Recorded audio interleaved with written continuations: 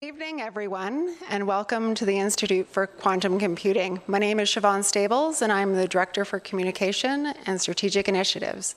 Our public lecture series is designed to inform and educate our public about quantum research and the benefits of quantum research on our world. Um, today, I'm very pleased to welcome Michele Mosca, who will be talking with us today.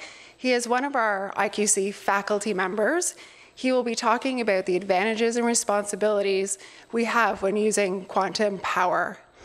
Michele is a professor at Waterloo and is a university research chair in the Faculty of Mathematics. He earned his BMath at Waterloo in 1995, so he's almost about the same age as I am. Um, and he also earned his PhD from Oxford in qu quantum computing software. I'm sorry, algorithms.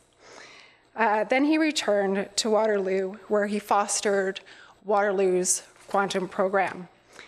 He's a co-founder of Quantum CryptoWorks 21, a training program in quantum safe cryptography.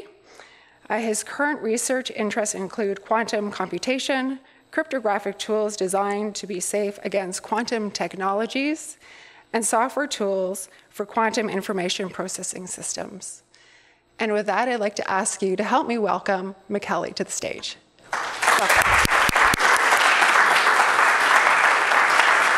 Uh, thanks for the warm welcome. As Siobhan mentioned, this journey started for me back in the early 90s when I was an undergraduate here. And it's been one sort of unexpected opportunity after another that uh, I was just very fortunate to have and just seize them as they came along. So there's been a lot of pivoting in my life. Started off trying to break crypto systems. Um, then I went to Oxford, as Siobhan said, and learned about quantum computing. Actually, I learned about quantum crypto. One of my mentors early on showed me a paper on quantum crypto, and I thought this is just weird science fiction. Uh, then I heard about quantum computing when I was uh, working on my master's at Oxford. thought it was ridiculous. Um, actually, I heard about it even earlier. Um, but quite ironically, then, I eventually understood what I, what I was missing and realized this is a very exciting area of research and was very fortunate to be welcomed back at Waterloo uh, to, you know, this whole quantum effort back then was really seen, you know, 20 years ago as a, you know, a bit of a speculative, you know, uh, endeavor, to put it mildly, but it was warmly embraced here by colleagues uh, across several faculties. Um, and, you know, especially, uh, you know, St. Jerome's University uh, and uh, the cryptography center we had here, which grew into the Cybersecurity and Privacy Institute we now have. Um, this has all kept me very busy. I was sort of, again, accidentally uh, involved in another rogue effort. So in the early days, you know, the quantum computing effort here in IQC was a rogue effort, uh, which, thanks to many, many people, um, has become uh, one of the flagship institutes in the world. It's also fortunate to be a part of Perimeter Institute. More recently, we started a not-for-profit called Quantum Safe Canada to help Canada be safe and secure in the context of quantum technologies. Um, and you know, these are two spin-off companies I'm involved with. And we've recently started an industry consortium in Canada uh, to help make Canada, um, again, to benefit from what quantum can bring and to do so securely. So th this, um, all these elements should, um, will be teased out throughout this, this talk I've prepared. So quantum mechanics is really a new mathematical language for talking about physics. It's a fundamentally new paradigm.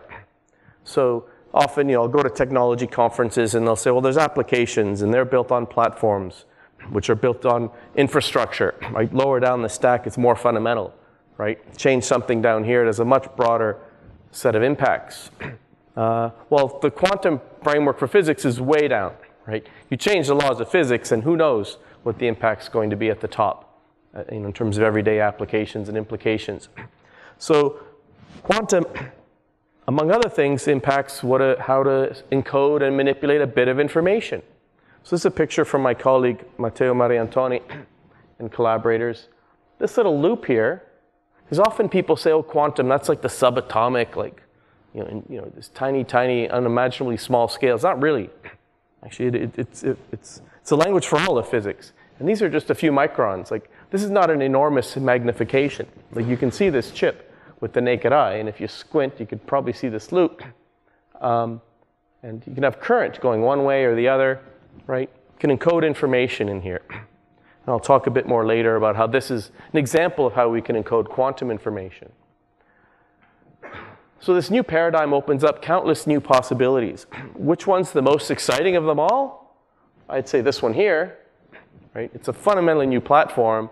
Try to guess in the, in the 80s what the internet's going to mean to our lives. Try to guess in the 40s and 50s what computation is going to mean. Try to guess in the 19, early 1900s what wireless communication will mean for humanity. We had some ideas, but it's mostly here, and it'll mostly be the young people um, here and around the world. But we know some algorithmic advances, some advances in sensing, in securing communication, and those already are, are quite exciting prospects. So, what is it that makes quantum mechanics special? So, the quantum language for physics really, you know, can be summarized. The essence can be summarized in one, one sheet of paper. It tells us you need, we needed a mathematical language, right, for letting us allow, so, you know, we're used often in physics, if you remember, you want to say, where is this particle? And you'll, you'll put it on a, a grid and you'll say, well, here's the x, y, z coordinate. Right? That's the mathematical language, right? Like your x, y, your Cartesian grid, you might remember from high school. That's a framework for talking about things, for expressing, for trying to model the world around us. But notice that mathematical language forces you to say the electron is here or there or there. If you're creative, you can even have some probability distribution. But it doesn't let you talk about a particle embodying all its possible configurations you know, at the same time in some meaningful way. I qualify that at the same time because it's not, it's not maybe as powerful as some people might misinterpret it to be, but in some meaningful way it really is embodying that, that, that, that bit, that atom, for example, that can encode a zero by having an electron in the ground state, or a 1 by having an electron in the excited state. Those are two distinguishable states. You might remember from high school chemistry that electron can actually be in, in many places at the same time in some sense. So that single atom can actually embody both those configurations at the same time. Instead of probabilities, we use these probability amplitudes. So here's some weird numbers I made up, right? Even negative. Like this just doesn't look like a probability. So what are, there's two things wrong with this. Why it can't be a probability. Anybody want to guess one or both of the problems? Doesn't add up to one, right? When you add up all the probabilities, it should be 100%. These add up to zero.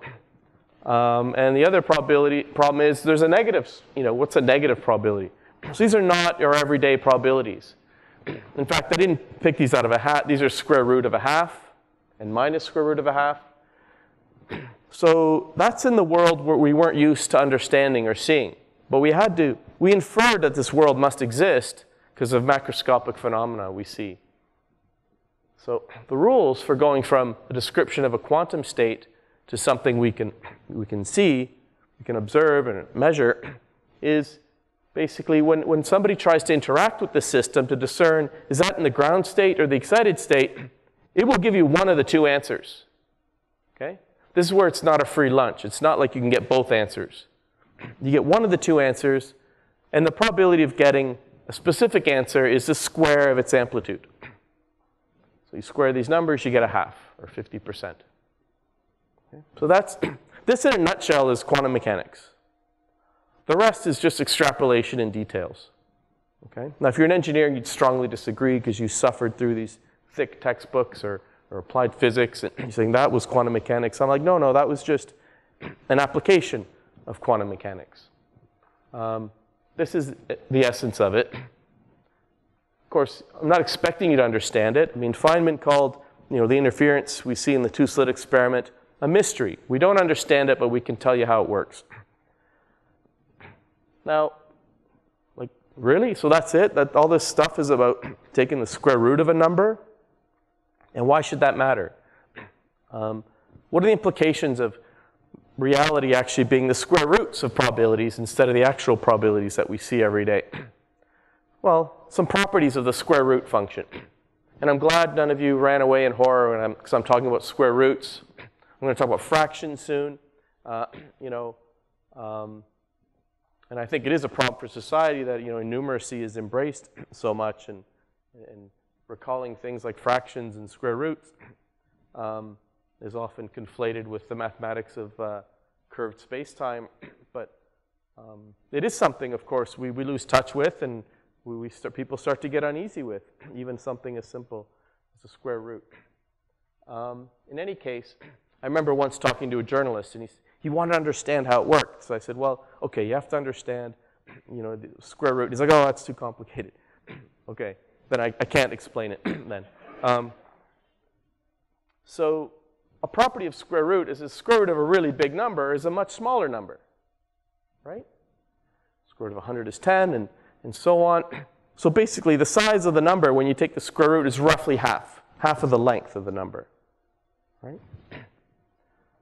So that's interesting, especially because there's an algorithm with the quantum computer that will solve problems in times square root n instead of n. So that can be a big savings. Instead of a, a trillion steps, it could do it in a million steps. And that could be a game changer for some practical applications. Now, a lesser intuitive thing, something that's a little less intuitive, is that the square root of a really small number, one that's less than 1, is actually bigger Right? It's obvious when you think about it, but kind of, we kind of forget that sometimes. So square root of 1 over 100 is 1 over 10. Right? Square root of 1 over 10,000 is 1 over 100. So the roots of really small numbers are much bigger. Right? So if you have to go you know, 20 zeros down before you start getting non-zero digits for a number, the square root of it only is, is, is only 10 digits away. So it's a much bigger number. So who cares? Well, you know, maybe by looking at things in a quantum way, we can detect faint, faint signals, right?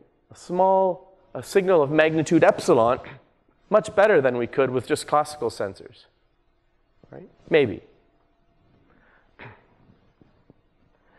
In fact, that is one of the first applications of quantum technology.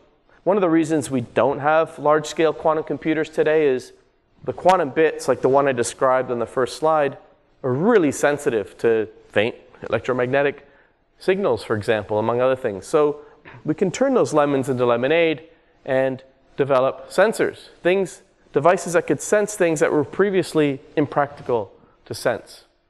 And then, of course, from sensing, you can go up to actually measuring things and so on. And, and colleagues have looked at, in the early days, how can we measure time and frequency more precisely? Um, I mean, one of the first public lectures of IQC is David Cory talking about detecting landmines better. Are there ways to better detect glucose or measure glucose and ketones and so on that maybe don't require you to draw blood? Neutron interferometry is something. Um, actually, the same colleague uh, demonstrated could be done better with quantum tech. So let me give an example of how this intuition for why this works and why going under the hood of what we see every day allows us to do this much better sensing. So if you're trying to detect something super faint, and every time you look, you have a probability epsilon. You know, I don't know why we use Greek numbers, but we do in mathematics. An epsilon, small, we use, usually it means a small, really small number, close to zero. So you have some small probability of detecting something. You know, what you do is you try again and again and again, right? And after t attempts, your probability of detecting it is roughly t times epsilon. Okay? That's not the exact formula. You know, as this gets close to 1, it obviously um, can't get bigger than 1, but it's a good approximation initially. Okay? Now remember, what's going on under the hood is that thing you're about to measure, and then when you looked at it, it, was, it, came, it, it went click with probability epsilon, was actually, you know, you could think of it if it was an isolated quantum system as having a square root epsilon, eh, being square root epsilon in the detection state. Okay. Can I exploit this here? I don't see how, right? Not if I keep looking all the time. But maybe, what if I don't look all the time. I don't get nosy, but I do some kind of quantum, some kind of quantum processing that allows that, that detection state to build up. Get that root epsilon and root epsilon combined. Don't look at it yet, because if you look at it, you'll force it to be one or the other, and it'll be just like the classical thing. But after t repetitions of a process, there's several ways to do this, the amplitude will become t times square root of epsilon. And when you, then what? Then, then you look at it. Right? And then you get t times square root of epsilon. When you square that, you get t squared times epsilon. Right? So instead of probability t times epsilon, you get probability t squared times epsilon. And t is a, an integer. It's a big integer. You might try this 100 times, 1,000 times. so you get a big magnification in your likelihood of detecting something.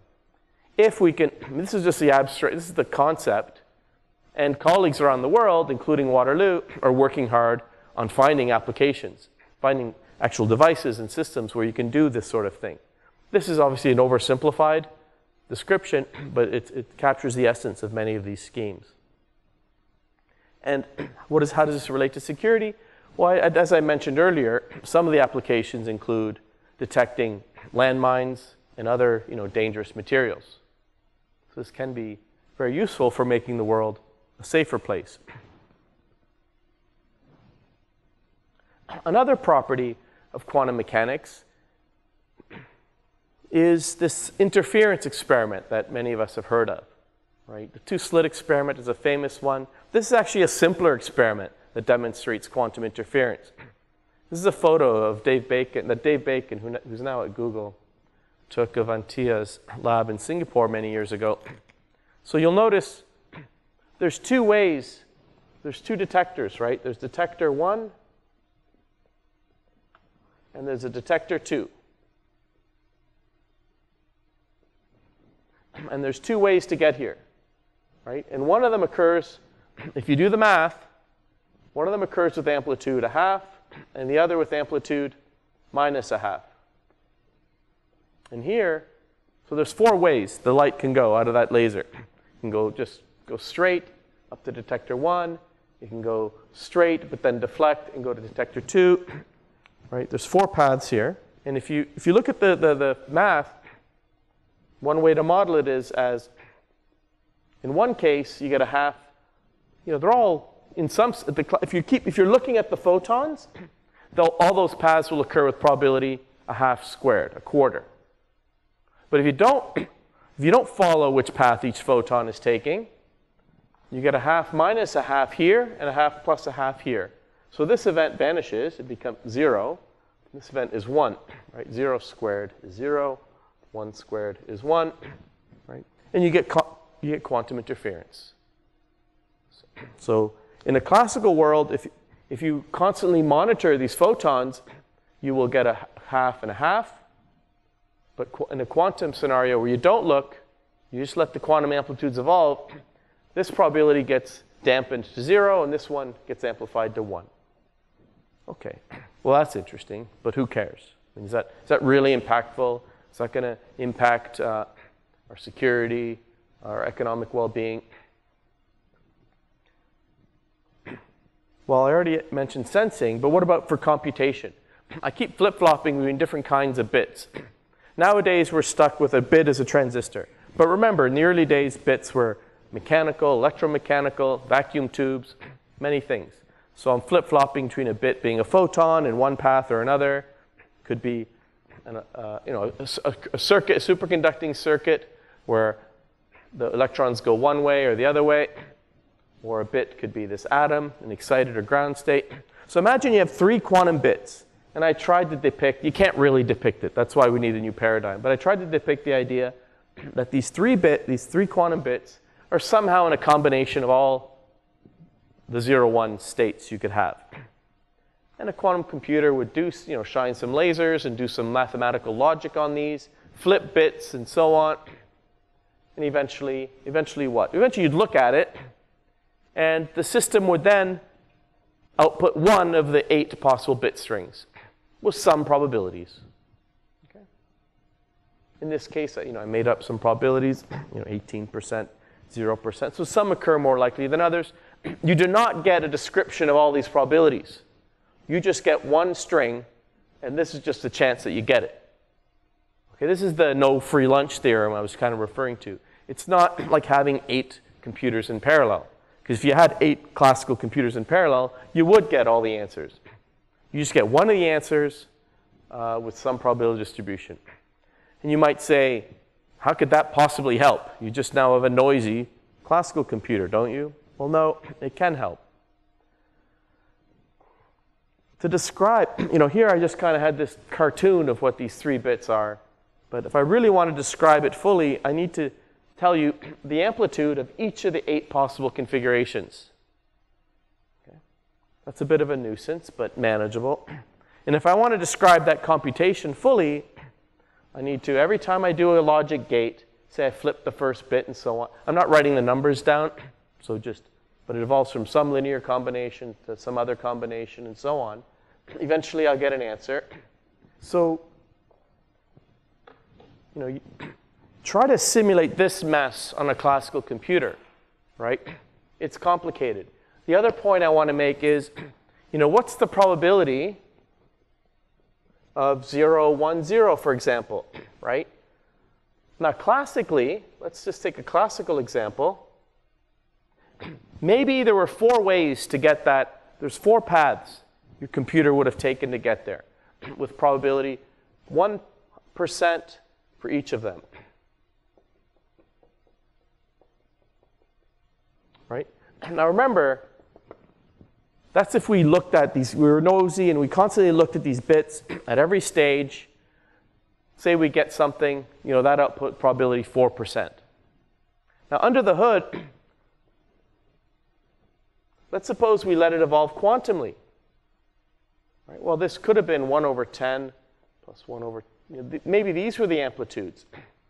Now, if these were the amplitudes, the total amplitude would have been 4 over 10, and the probability, when we look at it, would have been 16%, right? So you get constructive interference. An event that classically would have occurred with probability 4% maybe now gets amplified to 16%. On the other hand, what if I put some minus signs here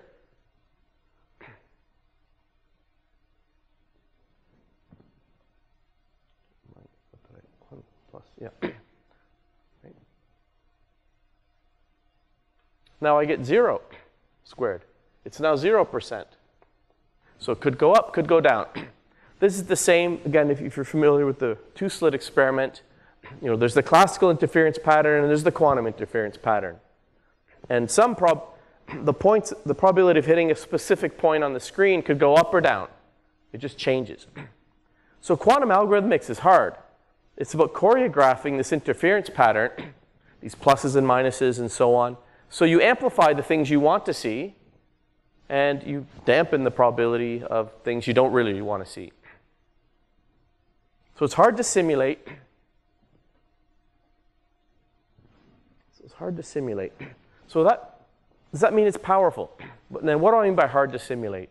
If I want to simulate, you know, four bits, I need to keep track of, sorry, three bits as I drew on the previous slide. I need to keep track of eight numbers. Okay, that's it's a pain, but it's doable. If I go to 40, I need to keep track of a trillion numbers to sufficient precision. If I go to 128, right, this is astronomical number of numbers. A few hundred bits, and it's you'd need more matter than there exists in the known universe to just to write down your simulation if you use this naive simulation. And in general, we don't know of a much better simulation. In many, many cases, we do have more efficient simulations, but in general, we don't know anything better than just this brute force. Impossible. Because I remember my mentor, Scott Vanstone, said, and breaking this code would take two to the 200 steps. And I initially thought, well, so what? Like, just try harder, you know, go faster. but, you, you know, two to the 200 is essentially infinity okay, for all practical purposes. So, so simulating a quantum device evolving is infeasible in general. In special cases we can do it, but in general, You can't possibly do it with all the computing power in the world. So what? Right? As long as you don't care about what these weird quantum particles are doing, how does that impact you? Well, the idea, of course, is if this thing, this quantum device, can solve one computational problem exponentially faster than we know how to do on a classical device, can't it solve other things exponentially faster? Right? So there's a spectrum where at one extreme, it's only good for simulating itself, leave me alone. The other extreme, it can do everything exponentially faster. Okay? We don't think it's at either extreme. We think it's somewhere in the middle, where there's families of problems where it can be up to exponentially faster. In some cases, it's just you know, so-called quadratically faster, like n to n squared. But in some cases, it, it takes a problem that takes 2 to the n time, right, like 2 to the 128 time on a classical computer, and does it in 128 steps. That's a game changer, a massive game changer. so, what are the kinds of problems where quantum computers are really good? So, can you see a pattern in these numbers? Who can see the pattern? Does it repeat at all? Yeah, repeats. How often? Every five. So that's a non trivial global pattern. You know, when you go home tonight and somebody asks you what, what was the pattern, repeat it every five times. If somebody says, What were the numbers? You'd be like, I don't remember. but it repeated every five times. So that's what quantum computers can do. It can detect that pattern, but not learn what the intermediate results are. That's part, of, it's sort of analogous to the Heisenberg uncertainty principle. You can learn one property, but not the other. So this has a period of length 5, you know, and you can imagine scaling this up where you have 128 bits. Encoded, bit, this could be anything. This could be atoms, it could be particles of light, superconductor, some way, some two-state system that we can control quantum mechanically, and these two colors represent zeros and ones. This is a 128-bit number, and you have a sequence of numbers, etc. And eventually, you might notice you got the same number, and you'll say, oh, the, the period is this astronomical, this 729 billion or whatever it is. And the quantum computer could, so classically, you need to spend about square root of this number of steps trying to find that period. So it's a pain, especially if the period is even bigger. And you, but you learn all the intermediate data that you don't really care about. You just want to know the period. A quantum computer can look at this like a small constant number of times and spit out the period. Right? And, but not know anything about what happened, what the intermediate values are. So to a mathematician, this is super exciting, right? But are there any applications anyone else might care about? Well, the same, but this is how research works, right? We see something with some potential, something profound. We invent toy problems, proof of concept problems that are thoroughly and interesting to anyone else, but they give us a chance to start learning and digging deeper. And eventually, the practical applications emerge. But we'd never have gotten there if we just started with the practical application in mind. The, the gap between the two is just too huge. We need to take those baby steps. So, the same tools, same kinds of tools, and other tools allow us to, for example, simulate uh, new materials. There was a Nobel Prize one recently for you know, topological materials. So you know, new phases of matter. So, what's a phase of matter? Well, we're used to things like solids, liquids, and so on, and uh, gases. But there's other types of phases. For example, is this material superconducting or not? Right? Superconducting means electricity goes through it without heating up the material, without leaking any energy. That's a wonderful property to have, right? We could have cheap, high temperature, by high temperature, we mean close to room temperature. Superconductors, we can save a lot of energy. Okay? But they're really hard to find. Well, we haven't really found any um, really high temperature superconductors, but we're trying to get higher and higher temperature ones. So you can design a material at the atomic scale, but whether or not it has some of these properties, like superconductivity, is not so easy to predict. And there's other properties. And one of the reasons it's hard to predict is because the quantum mechanical effects become relevant. And if you try to simulate it on a classical computer, what's the problem? Well, how do you keep track of these exponentially many potential configurations? But we believe a quantum computer can help with some of these problems. It's not a magic box that will just spit out magical materials, but it can really help us zero in on more promising materials that'll achieve what people are trying to do, whether it's you know, a better material, a chemical, a drug, a better way of making fertilizers, or so on. I already alluded to another application.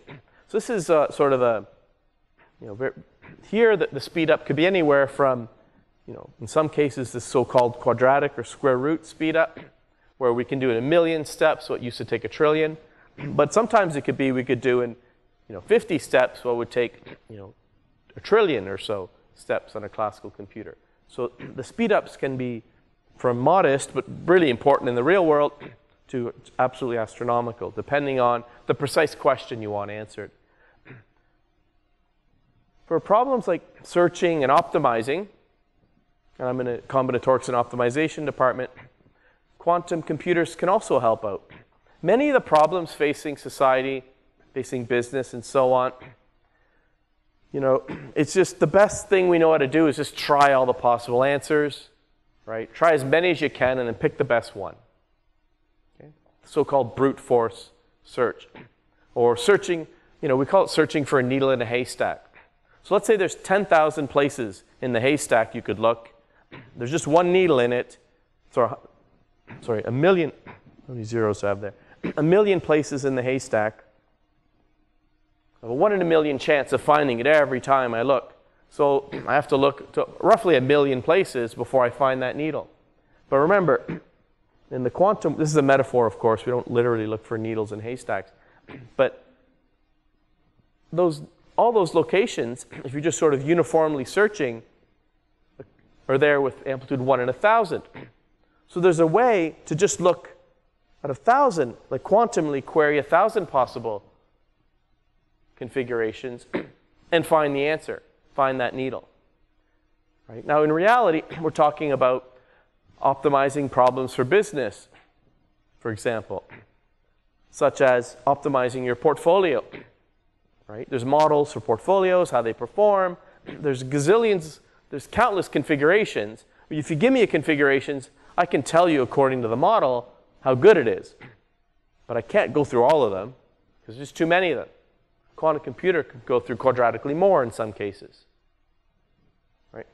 In terms of how this might help us be more safe or secure, well, one of the things businesses do and governments is, is risk management. Because there's a finite budget to try to protect your systems against cyber attacks or the safe, you know, or against your, your, your systems from some kind of safety uh, meltdown. And you want to, you know, make it as safe as possible given the resources you have. Right? There's many, many different flavors of risk management. And often it comes down to an equation that you need to optimize. The equation, the parameters of the equation are how much, you know, for you know, how much do I spend in this department or that department and so on. You have a model, you have an equation, you want to optimize it. Now, the truth is, right now, if you you can try, in some of the some of the problems, there's a promising quantum solution, and others, it's a much more long term potential speed up. It's still very early days. Okay? Um, another thing, another optimization problem we do is we try to look for anomalies in our networks because that's a sign that there's something bad going on. And you know the problem, if you ever go to like a security operation, we have some of the world's experts in the audience. There's just countless false positives and so on. So on the one hand, you want to detect anomalies, but you don't want to detect too many of them. You don't want to detect too many false ones. So these are hard optimization problems. And maybe quantum can help us better detect these anomalies, better detect intrusions, right? Or there's a lot of um, concern about money laundering, right, and trafficking and so on. And people are monitoring these things with and using sophisticated algorithms, machine learning, and so on to try to detect what's going on and stop a lot of the harm that's going on in the world. And maybe quantum optimization including quantum machine learning, might help with that as well. So there's a number of uh, you know, potential avenues, some more promising than others, where you know, quantum enhanced computation might help us make things more secure and more safe. So on that note, how is anything secure? You know, we all use the same internet. The bad people are on it. We're trying to use it. How can this even work? Right? How can we use an untrusted infrastructure where people we don't trust or people we know are malicious or have access to it and we, we just put our, you know, and it's not just information being stolen, right? It's IoT. Like, how many, how many, we have driverless cars. We have not completely driverless in practice yet. Well, they could be, but we have cars that are, can be controlled remotely. So there's also safety. So safety and security in the English language, in, in most European languages are the same word, but when, when we say safety, we usually talk about, you know, where there's not an active adversary trying to hurt you right? You have airbags to make you safe, right? Security is usually when there's somebody actually trying to harm you and you're trying to protect yourself. So that's why I'm using both words as if they have two different meanings, because they do. So, how do we keep things secure and safe, but they're related? Because with IoT and so on, with devices being controlled through cyber infrastructures, it's really our safety is increasingly at stake here. So how does it work? Like, why is HTTPS with the S more secure than just the old HTTP, which doesn't work so much anymore, which is good? Or how does a VPN keep your information more safe than just, you know, not using a VPN if you're remotely connecting from home or something? Well, cryptography is that magic. cryptography is the magic that lets you use an untrusted infrastructure and get reliable, trustworthy results from it. So, just as an example, Bob wants to send Alice his medical information. He encrypts it with a key, sends it to Alice. She decrypts it with the same key. So, encryption is a very powerful tool for allowing us to use an unsecure, an unsecured uh, network to get reliable, safe transactions. But that's not enough. So, encryption is not enough. Why is it not enough? So, how am I going to send you an encrypted message tonight? Do we share a key? Well, no. So, we need a key first. So, key, so symmetric encryption is a great tool, but it's not enough. We also need key establishment or key agreement. And there's some lovely mathematical algorithms for doing that. Is that enough? How do we know that this innocuous looking person in the middle isn't intercepting all of our messages? pretending to be you to me and me to you. So these person in the middle attacks. Well, that's what we need authentication for. That's what all these so-called digital certificates uh, that your, your browser your browser stores all these public keys and allows you to authenticate that you really are talking to the company. You, you know those auto updates you you download all the time without even knowing it. It's those digital signatures that authenticate their origin and their and their integrity. So these are three cryptographic tools that we use every day without even knowing it and that are fundamental to the security of the internet and essentially our whole digital economy. And there's more. There's more of this, you know, new age crypto, which is exciting new tools that allow us to do even more, get more functionality, but remain secure. And these are some of the words, but they're, they're wonderful tools. And my colleagues at Waterloo are among the world's leaders in finding tools that let you protect your personal information, and but still enable security or still enable the business functions that we want as well. It's not one or the other. But of course, you have to design the tools and make them practical and, and make them available. And, and, many of my colleagues have done that. So actually, I was involved in a project with a team uh, looking at how we can use some of these tools to allow, uh, you know, for better, better money, better, better anti-money laundering, right? That still respects the laws, because you can't share all your most of you are not launder, you know laundering money illegally right so you don't want your information to all be susceptible and being looked at by people who don't need to see it and potentially misused so how can you protect you but still catch people who are trafficking and laundering money and so on so there, there are tools that are enabling that and these these can be deployed They need, but you know, they need to be secure against in a quantum context. That's important. That was my role in that project. So quantum can help us build a stronger cryptographic ecosystem. Right? Another property of quantum, it all stems from that superposition principle, okay? like this parallelism and computation is really extrapolating from the superposition principle. Uh, I'm not going to talk much about entanglement today because I, I don't have enough time, but entanglement is really an extrapolation from that superposition principle. Uh, another property of quantum mechanics is you can't, you know, if you, if you try to learn the state of a quantum particle, you have to disturb it. So there's a theorem, you know, a theorem that says if you extract this much information from a quantum system, you must disturb it this much. And your detectable probability proportional to, you know, this much. So we have this intrinsic eavesdropper detectability. Now we can do more than, you know, use this to use the internet and know if we're being, you know, abused or manipulated or exploited. But we can do more than that. That's not, it's just a tool. Because if you know, you can tell if somebody's listening or not. You know, you can get key agreement through an untrusted infrastructure. The idea is simple. I mean, the details are maybe not so simple, invented by uh, Gilles Brassard at the Université de Montréal and Charlie Bennett at IBM. Basically, take some, I, I want to establish a key with you. I prepare a bunch of random quantum particles, send them through this untrusted quantum connection. Somebody might be listening. You get those random particles, you look at them. We can detect if anyone's been looking. If no one was looking, we now share some random bits. And if someone was looking, well, we abandon it. Okay? And you know, we call the police because nobody should be looking. I mean, this is, this is an intrusion that is not supposed to be allowed. So there's a way to establish keys. So it's not just eavesdropper detectability. We can leverage that to get secure key agreement that can't be mathematically cryptanalyzed. The key agreement we use on the HTTPS uses and VPNs use, in theory, with enough computing power, it can be broken. Of course, we think it's thousands and thousands of years, but maybe some unexpected advance could break it quickly. With quantum key agreement, you don't have to worry about mathematical cryptanalysis. Now, there's a challenge because, you know, sending quantum particles back and forth, it's been demonstrated, you know, tens of kilometers we can do pretty robustly It's been, you know, one or 200 kilometers, very extreme experiments, right? Like not, you know, commercially realistic at this point.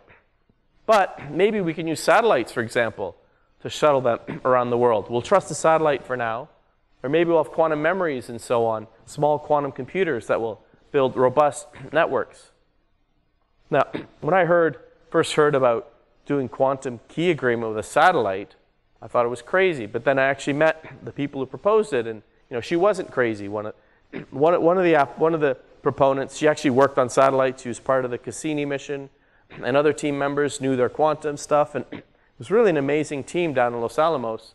And they proposed this. It was still just a concept. And you know, pretty much any other team, and it would have been dismissed as crazy, I think. But uh, and eventually, over the subsequent 15 years, researchers in Canada, the U.S., the U.S., you know, Europe, continued to develop it including my colleague Thomas Jennewein, who was in Europe when he got into this, and then we recruited him to Canada, and I borrowed some of his slides. So in the interim, you know, very recent years, our friends in China actually deployed a, a, a massive satellite that can do all sorts of quantum experiments, including quantum key agreement. They did proof of concept encryptions between them and, and, and Austria. And others in Asia have moved ahead in this space. Many proofs of concept have been done in Europe and Canada. Um, this is Thomas' team. And so one, before, you know, people will give you money to launch a satellite for millions of dollars, they want you to validate it. First with a truck driving up the road, then with a plane, and eventually, soon, I think in a couple years or so, we're going to do the actual launch in Canada. So we're very excited for Thomas and his team and for all of us. the long-term vision ultimately is a quantum internet. The first, today's generation, it's largely point-to-point links maybe some trusted intermediaries to get longer distances.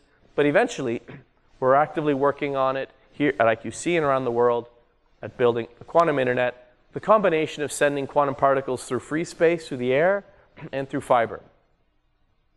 That's a very exciting future that's being built.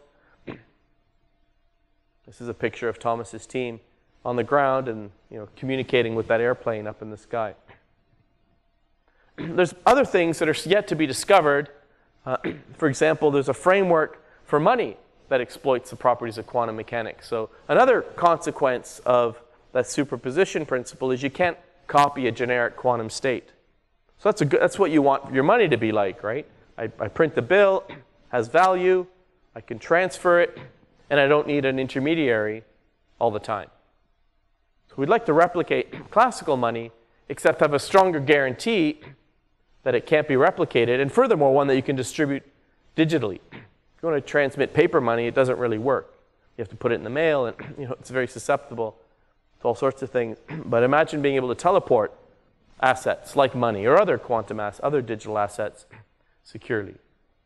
Still mostly to be discovered, I think, but quantum cryptography as a broad field has come a long way since our friends proposed quantum key agreement in 1984, 35 years ago.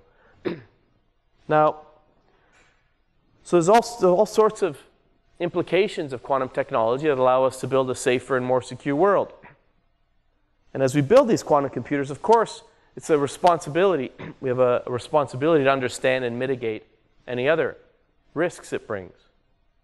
So, those key agreement protocols I told you about, most of them, many of them rely on problems like factoring a large, it's easy to multiply two numbers. If I give you a big number and say, what are the factors, that's a hard problem if you pick a big enough number. That's, that's good, because that's the basis of how HTTPS works right? That and other problems. But there's basically two or three problems that, that that protocol can be based on. Except the quantum computer, Peter Shor showed in 1994, can break the RSA scheme. And you might have thought, well, that's okay because we have those other two schemes, remember? Yeah, it break, broke those too. So you just decimated everything. You decimated what everyone was using as well as the failover. Fortunately, it was 1994. We didn't have a quantum computer. There's hardly anybody working in the field. So we've had a long time, you know, 25 years to procrastinate. Now, how bad is it if those codes are broken? Is that a nuisance? We hear about hacks almost every day, right? For the most part, people don't die. And if they do die, they don't tell you about it, or we don't know about it. Um, people do die because of hacking, just to be clear. Like when there's a ransomware in a hospital, people die. Like statistically, people die. So, but that's it's just scratching the surface in terms of where we're heading in terms of vulnerability. So our entire digital economy depends on tools like cloud computing, payment systems, the internet, IoT, and so on. The protocols that secure these tools, like HTTPS, secure web browsing, are auto updates. We need auto updates, right? Because our software is buggy, if you don't update it, people will exploit the bugs, right? So that you need, therefore you need auto updates. But that means your auto updates has to be secure, right? Why is your auto update secure? Because of digital signatures like these. So all of these tools, you can't have any of these without these cryptographic algorithms at the bottom. They just don't work. And quantum computers decimate public key crypto. So they decimate the primary way we do key agreement and the primary way we authenticate each other on the internet and elsewhere. And they weaken the, the symmetric ciphers. They, they weaken our encryption algorithms. now, the encryption algorithms, the weakening is one of these quadratic things. So if you pick a key that's twice as long, you ever hear like 128 bits of security and 256 bits of security.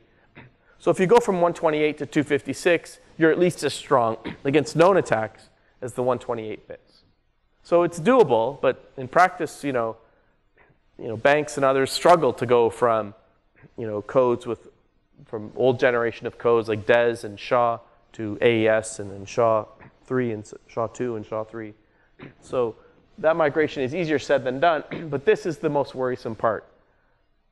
So the cybersecurity world, if you go to a RSA conference, the big cyber security workshops, security workshops, full of booths, they're all doing some version of reducing your likelihood of getting hacked, detecting if you've been hacked, and remediating ASAP if you've been hacked. Law firms, I mean, it's just a huge industry, this cycle. You know, reduce the probability, you know, train people, get good crypto tools out. But detect ASAP when you've been hacked and remediate. Have a plan to remediate. Do simulated hacks and, and so on, and remediate as fast as, and cheaply as possible.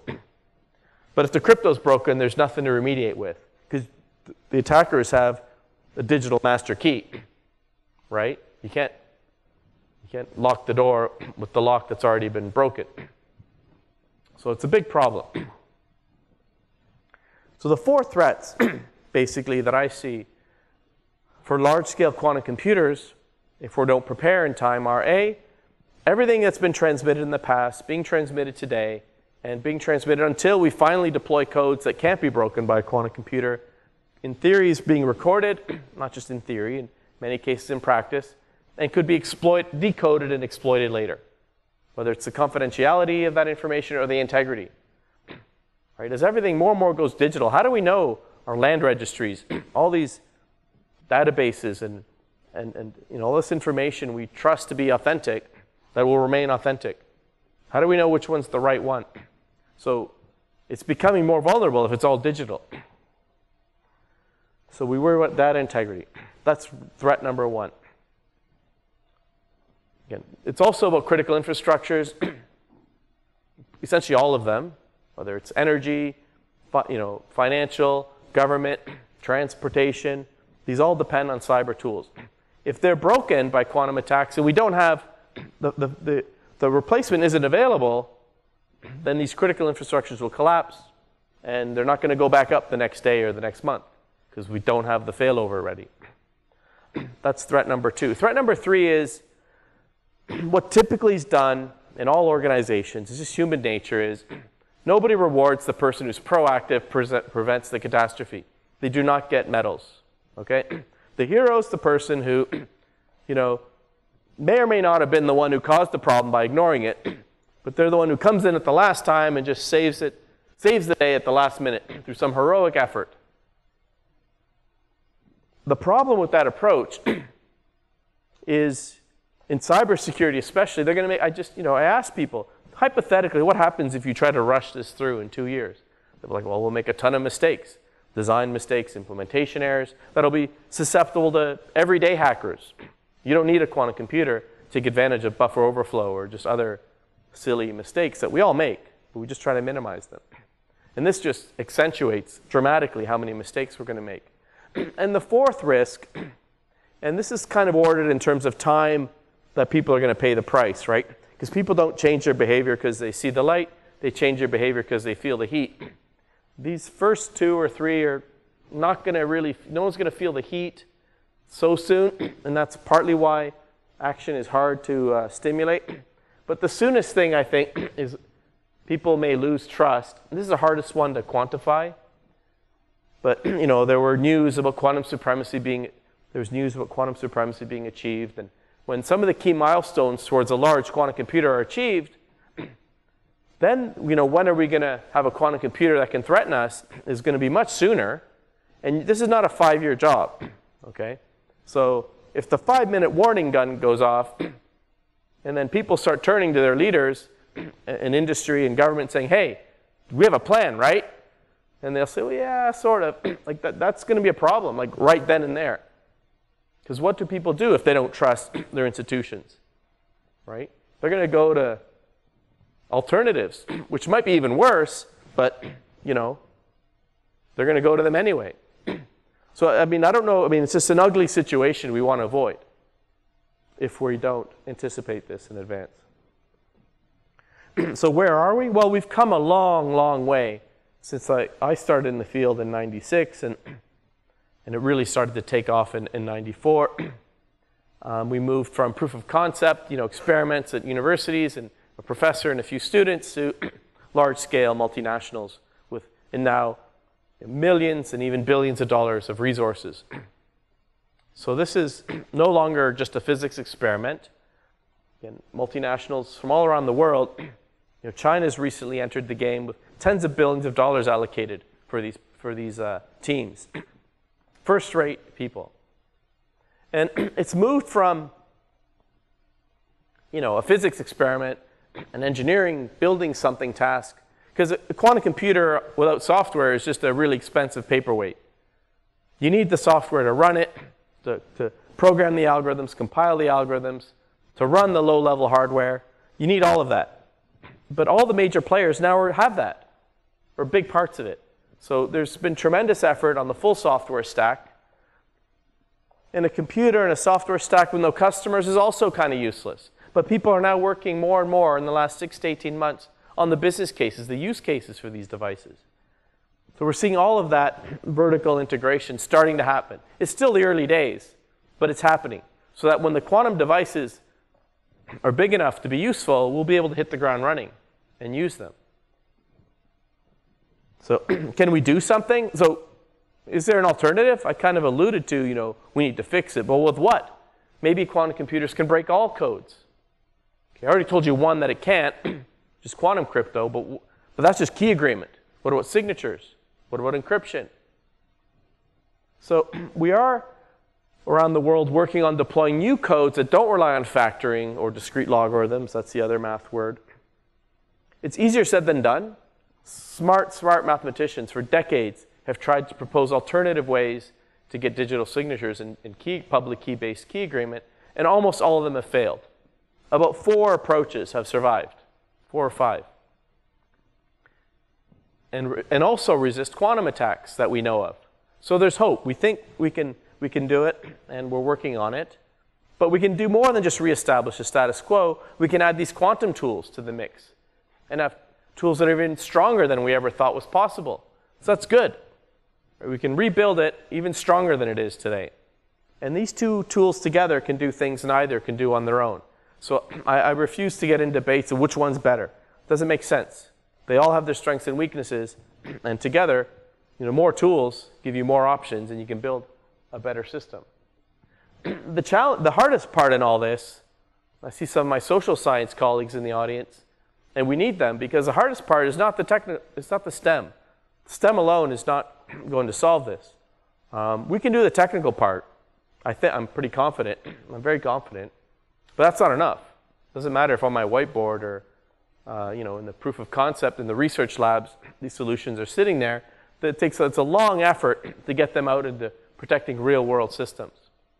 Um, but security, you know, is part of many things that organizations need to worry about. It's one of these things where it's very different from selling something, you know, that can, you know, achieve something. It's, it's generally seen as a cost.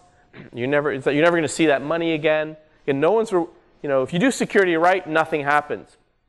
Okay, you don't get rewarded for that.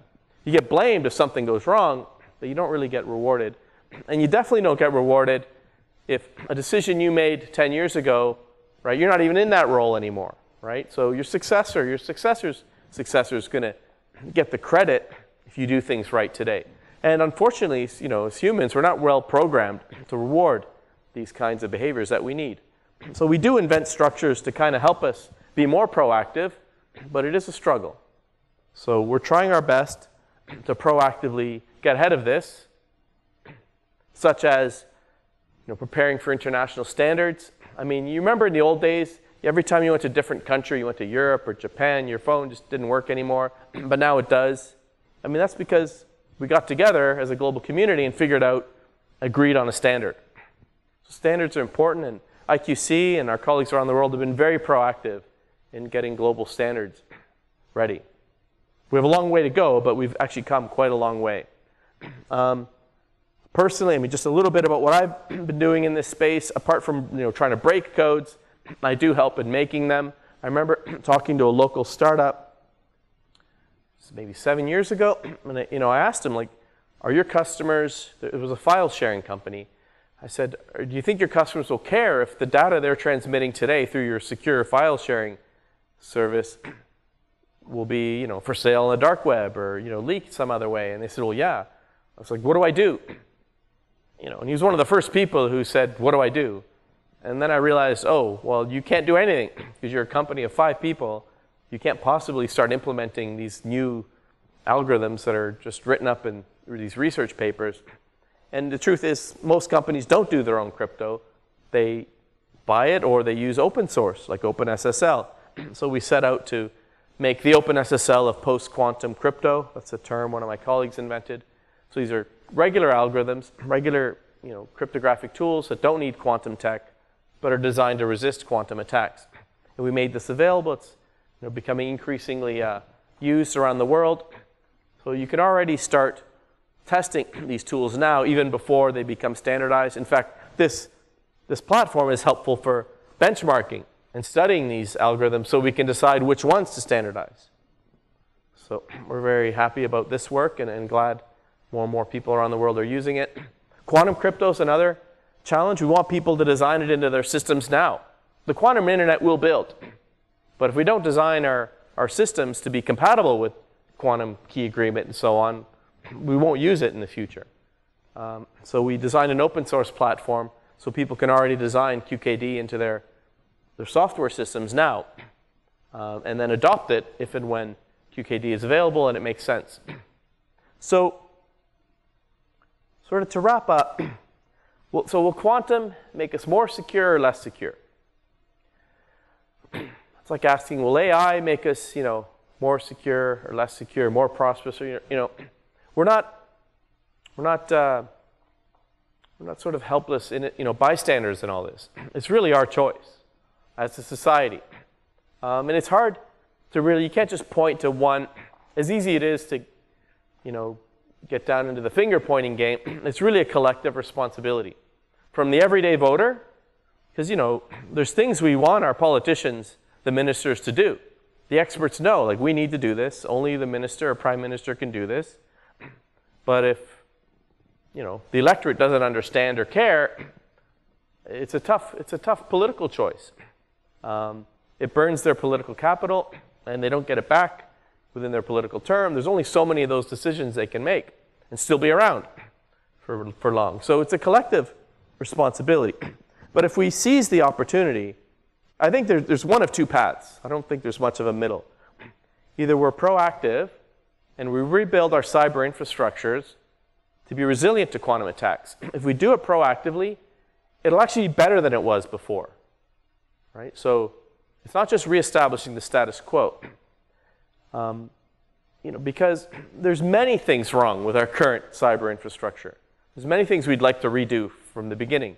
Again, not to blame the people who built it, because it's there was no dress rehearsal. Okay, there's a lot of things we learned. Hindsight's 2020. There's many things we we know now we could do better, but there's no there's the switching cost is too high, and it's like it's just it's hard. You know, if it ain't broke, don't fix it. So there's a lot of reasons why we're not doing the things we know would make our cyber immune system better, right? But now, but here comes this this very esoteric, it's very unexpected very lethal, you know, very serious threat to that infrastructure. It's forcing us to do many of the things we knew we should do anyway, right? It's like you go to your doctor and he says, look, you got this weird disease and the only way to survive is you're going to have to eat healthy and exercise. Well, that not only saves you from that one thing, it actually makes you healthier in general and more resilient to other unknown threats, unknown risks in the future.